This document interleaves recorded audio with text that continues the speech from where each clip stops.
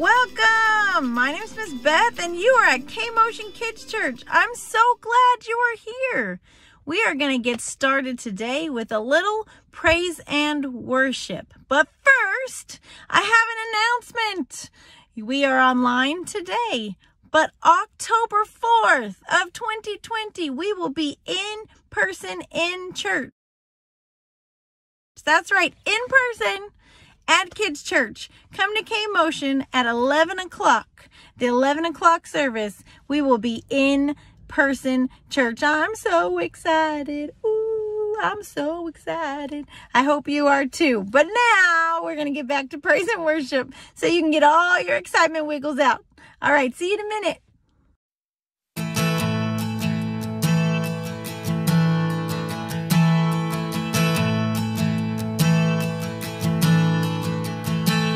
Oh, I've heard a thousand stories of what they think you're like, but I've heard the tender whisper of love in the dead of night, and you tell me that you're pleased and that I'm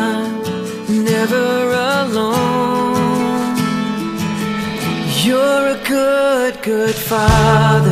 It's who you are. It's who you are. It's who you are. And I'm loved by you. It's who I am. It's who I am. It's who I am.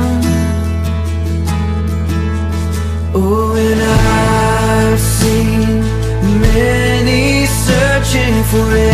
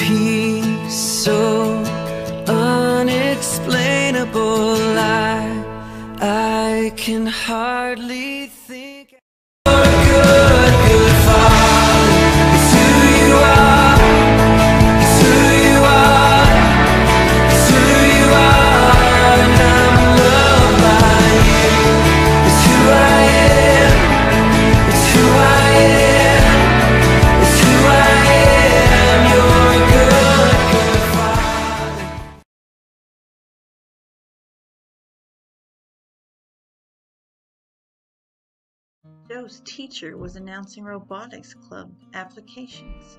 He was so excited. His teacher, Miss Hobnick, told them that you had to love computers. Check. You have to be good at math. Check. And you couldn't have any detentions. No! Joe's face turned downward and his heart sunk. He had a detention slip for picking on Phineas at lunch one day. Phineas had tattle on him for taking his Takis. Phineas noticed how sad Joe looked in class. He didn't think that taking his Takis was a bad enough thing to keep him from being in the coolest club in school. The bell rang. Phineas went to the teacher and told her that he would go to lunch detention for Joe. That way, Joe would be able to join robotics club. Joe overheard Phineas and was so shocked and amazed that someone he treated so badly would sacrifice for him. He certainly didn't deserve it. Joe never took Phineas's lunch again. And he invited Phineas to all his robotics competitions. They became great friends. Did you see how unfair it was that somebody else had to pay the price for him? I don't know that I would pay the price for somebody else. What do you think? Would you do that? Would you give up something for somebody else? Sometimes we would. But what if that person was just nasty and ugly and in their heart that they weren't nice or a good person, would you still want to give something up for them when they did something bad to you or they didn't treat you right? I don't know. I don't think I would, but somebody did. Jesus did just that. We are those people, right? We are just like that. We are um, we are sinful, right? Even if we try our best, we still do things that are wrong. We still do things that are bad and against what God wants us to do. And that's sin, right? And it makes our heart all dirty and yucky. And, and it says that we can be washed white as snow. We can be washed white as snow. That means it's cleaned.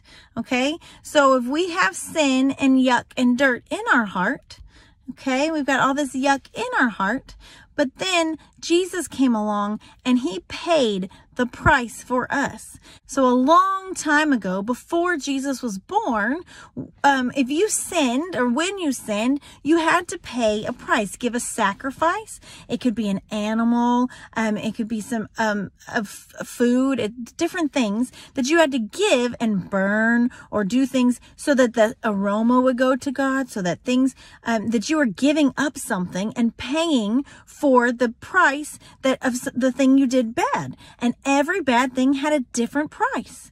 Okay. And we don't have to do that anymore. Have you ever said, um, something wrong or been mean to somebody and then had to go and, and kill a bird? No, we don't have to do that. You don't have to go cook a steak and bring it to the priest. We don't have to do that. And you know why? Because of Jesus. When Jesus came to this earth and then they um, killed him and they hung him on that cross and, and God brought him back to life, that was all to pay the price for what I've done wrong in my life and for what you've done wrong in your life and for what everybody on this earth has done. So we do not have to continue to pay for all of our mistakes and pay for all the things we did bad. And so Jesus was an awesome, awesome guy to to go along with that, right? To say, okay, I'll listen to what you said, God, and I'm going to do this for the people that I love, for the people you created, God. And, and he loved us that much. And he washed all our sins away. And they say it's white as snow, right? Because God wants to be in the presence of his people, but he does not like sin. He despises it. He hates it. So he doesn't want to be around us if we have those dirty hearts and those yucky sin things all in our life. So we're able to get rid of those things by talking to Jesus. Jesus took those away, right? So we have to confess what we did wrong, tell tell God, I'm so sorry that I said that bad word. I'm so sorry that I didn't listen and clean up my room. I'm so sorry that I did this. And then change and try not to do it anymore. Right. And then those are the things that Jesus says, you know, I will forgive you of those. I will get rid of those things and wash you white as snow so that your God can Uh, be in your presence, can be around you and not be disgusted, right? Isn't that amazing? That is super, super amazing. So going off of this, washed white as snow thing. Here comes an awesome game just for you.